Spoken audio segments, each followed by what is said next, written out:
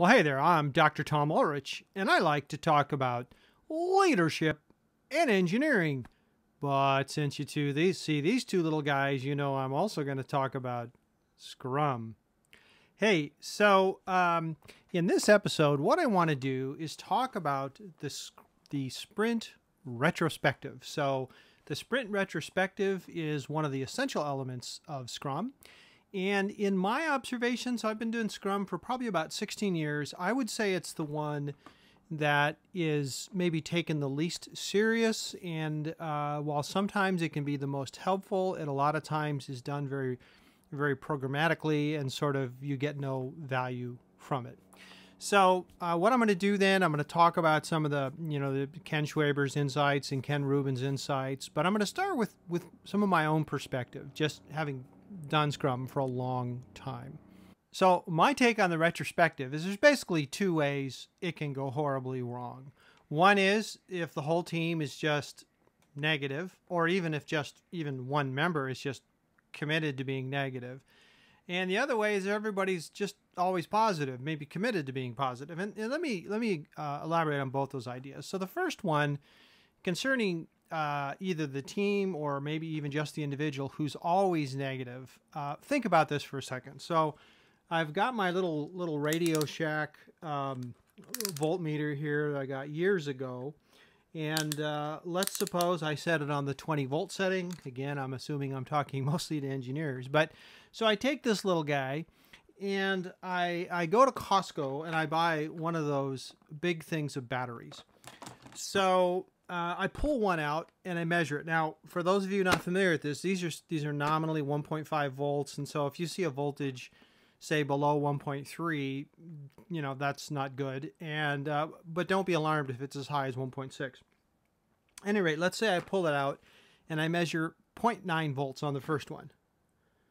And I say, okay, well, there was one bad one. And then I pull the second one out and I measure 0.9 volts and then the third one nine tenths of a volt. Fourth and you know this thing's got 40 batteries in it and let's suppose i go through every single one and the answer is always nine tenths.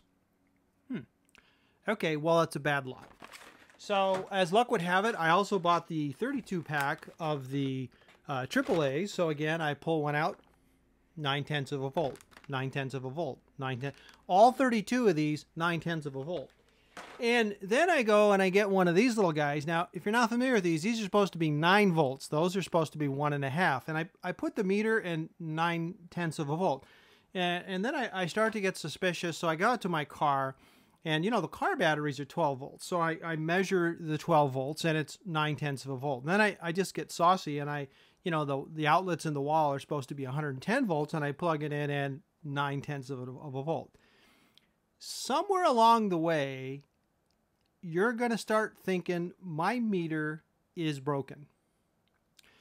And the thing about always being the guy who says, or gal, who's always negative, is what you need to know is people are like that.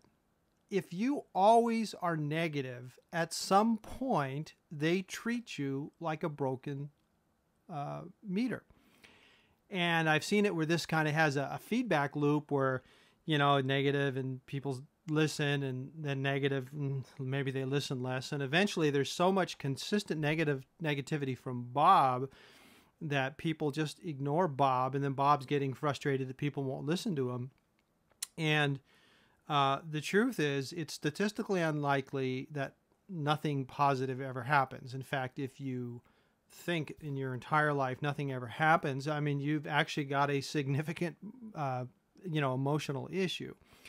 And um, uh, so that's the first thing i would say is you know with um, being just the guy who's always negative there there's a real downside to that which is you're not going to get taken seriously and you're going to create a situation where you you forfeit all of your influence because you're so committed to being negative now on the other side what i've seen happen is people sort of sense that well we're doing scrum that is what we're doing and they're almost afraid to say something negative and that's pretty bad too i mean the whole sort of uh, uh, uh, idea that scrum lives in is this idea of continuous improvement and you know if if you feel like you can't say anything negative. Uh, something's horribly wrong, and admittedly, it may be out of your control. I mean, you know, I have seen scrum masters who have informed the team that they're going to be very positive in the retrospective and, and so on. But but uh, so I guess you know if if you're in a situation like that where you're really being told to be positive, uh, I'm not sure what to say to you. But if you're the scrum master does it, I can say to you, you've really forfeited scrum once you condition your team to only say positive things. All right, so that's that's my big takeaway. Is those are the two ways retrospectives become meaningless. Is uh, on the one end, you have one or more people just committed to saying negative things, and the other end committed to saying positive. And nor- normally in life, there's there's a mix of negative and positive, and, and especially if you're just thinking everything is negative. Um, well, maybe it's just that you live in 2020 during COVID, but but you know e- even then there there's positives, and that really is a, a very serious symptom if if you can only see negative. All right, so let's check in with Ken Schwaber in his 2009 Scrum Guide. He makes a, a couple uh, comments about the sprint retrospective. First of all, he says always do it before your next sprint planning. And the reason for that is very simple. What he wants you to do is take the actionable items from the sprint retrospective and make them a task on the next sprint.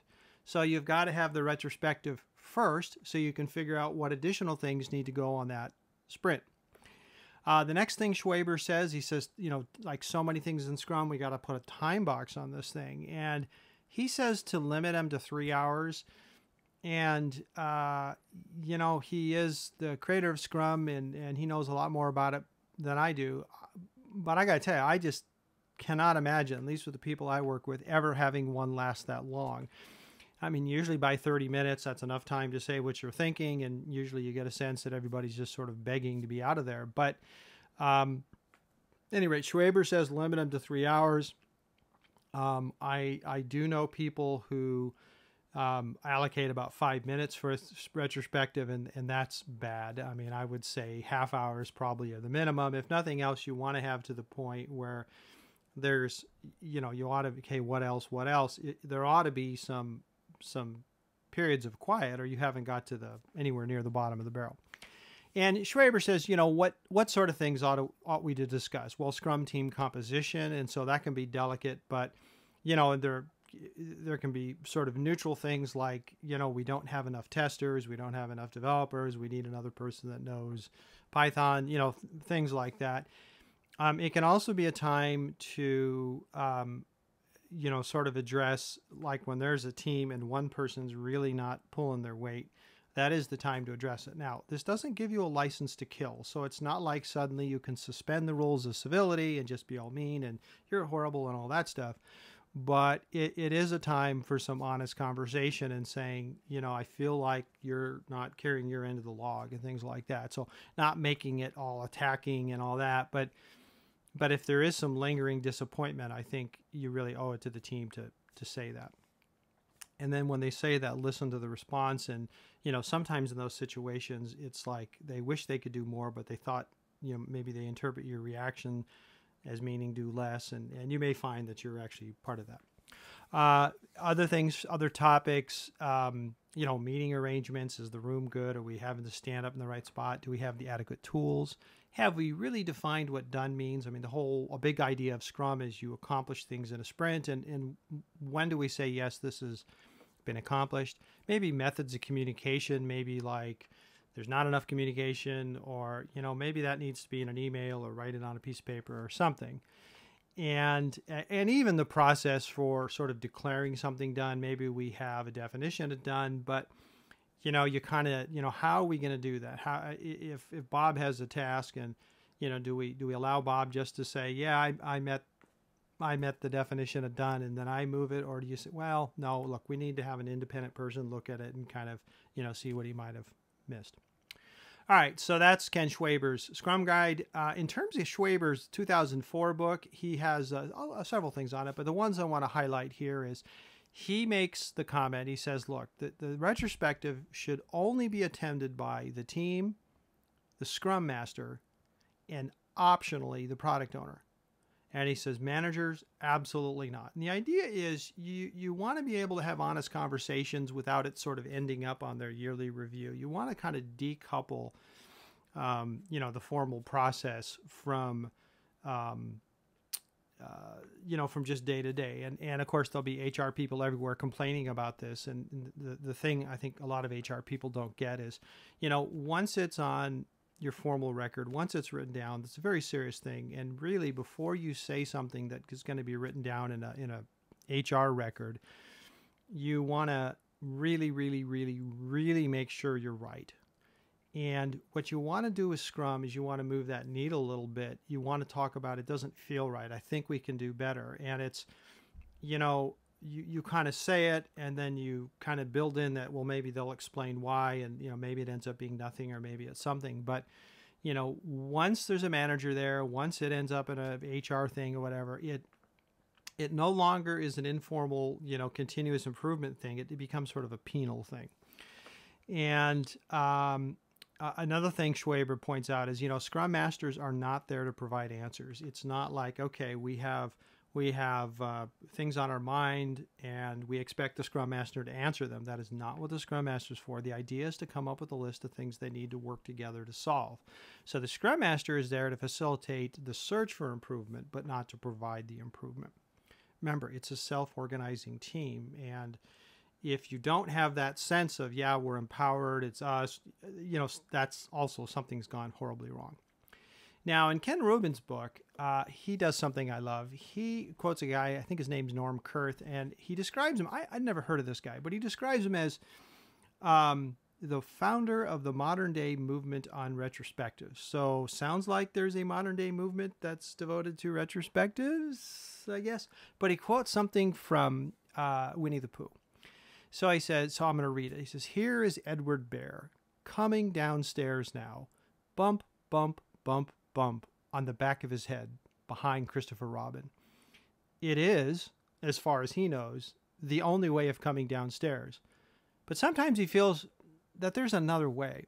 If only he could stop bumping for a moment and think of it. I mean, isn't that hilarious? You know, you've kind of got Christopher Robin dragging his bear and bump, bump, bump, bump, bump his head, back of his head on the stairs and uh, you know a little bit of the idea here with the retrospective is to stop slow down you know take a minute to think about what's the equivalent of getting just continually bumped the back of your head um, Rubin agrees with something. Uh, actually, he says something that's I, I, think worth repeating. He says, you know, the sprint retrospective is one of the most important and least appreciated practices in the Scrum framework. Um, and he points out, you know, that the retrospective is kind of the key part of this idea of continuous improvement. You've got to get the feedback before things can change. Now, in terms of who should um, attend, Schwaber said product owners are optional. Rubin says product owners are mandatory.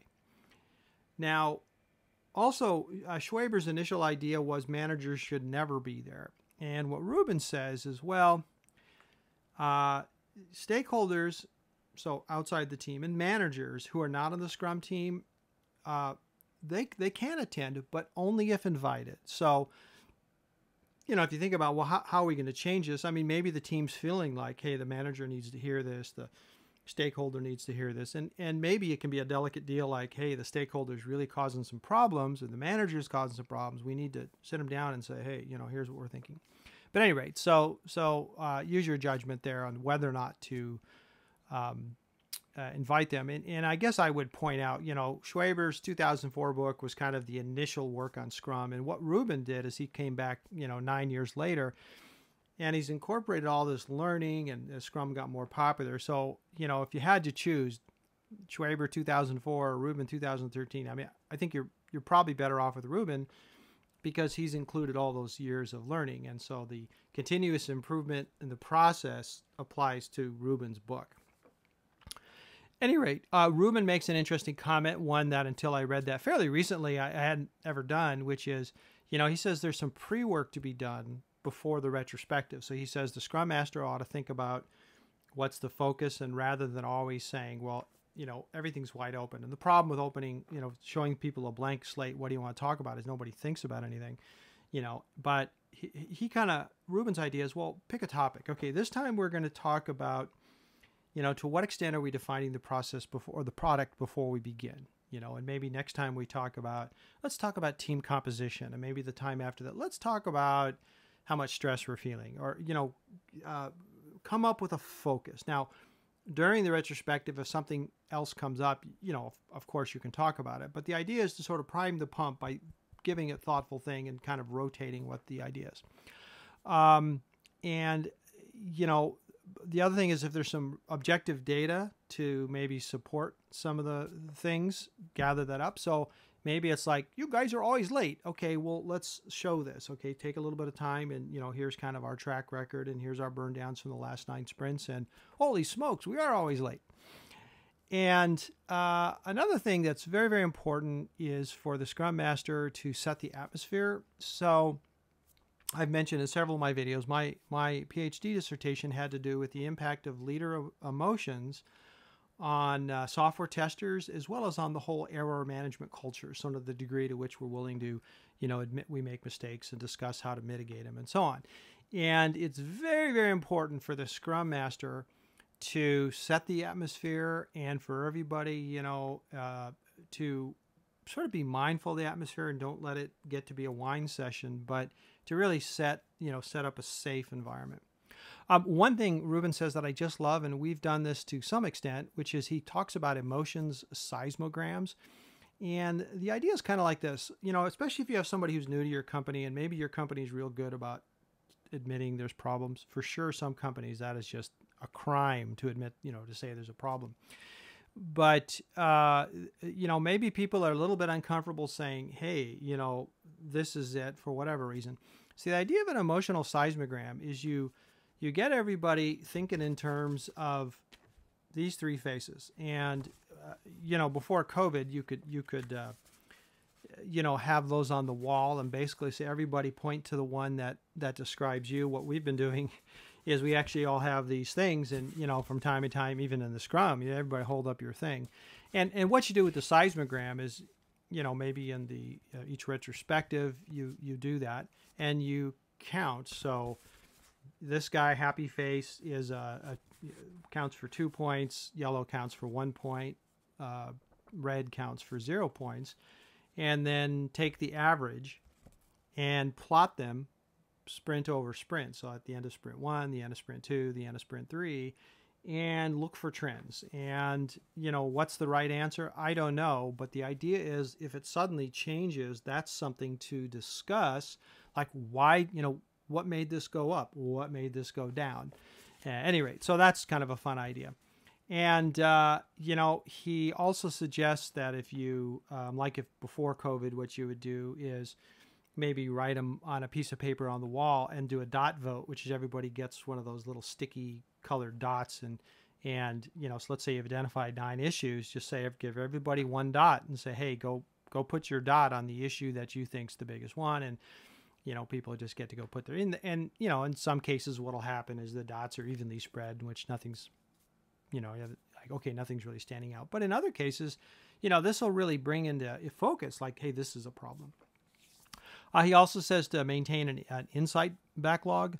Um, so it's kind of a backlog like the product backlog, except it's just sort of processy things. Some people say, no, just put that in the in the actual product backlog. But one way or another, you know, you go to all this trouble to have a retrospective, write them down and keep that. And uh, as a final thing, one thing Rubin says that I, I really like, he says he has a section on things that go wrong, and he says, you know, and this gets back to my very first comment. He says, you know, one of the worst things that can go wrong is if a team believes it's achieved perfect scrum and like there's really nothing else to improve, and that itself is showing that the idea of continuous improvement has gone horribly wrong. When I was at first at Parker Aerospace years ago, I had a friend uh, who I knew. He, you know, my son was in Cub Scouts, his son was in Cub Scouts, the same uh, group, and so we, you know, got to know each other. And he was responsible for lean and all those things at Parker and uh, he made a comment to me. He he uh, basically said, you know, as soon as you write down a process, it's obsolete. There's no such thing as a non-obsolete process. because things ought to be continually changing. So you spend all this time, you write it down, you release it, you think you got it, and you got to start thinking, okay, it's it's still not right. What do we need? And, and that's a very important mind frame is to realize process can never be perfect. You always have to sort of evolve it. At any rate, so those are my thoughts on the sprint retrospective. Uh, hey, if you'd like to see more videos on Scrum, uh, you can go to my website, tomulrichconsulting.com. Uh, if you'd like to find my um, other videos, same thing. Also, you can go to uh, uh, YouTube and just type in Dr. Tom Ulrich. Hey, could you give me a like? Could maybe leave me a comment? Subscribe would be amazing.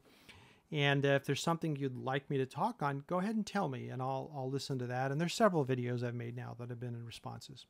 At any rate, that's all I've got for now. Thanks for listening, and we'll talk to you next time.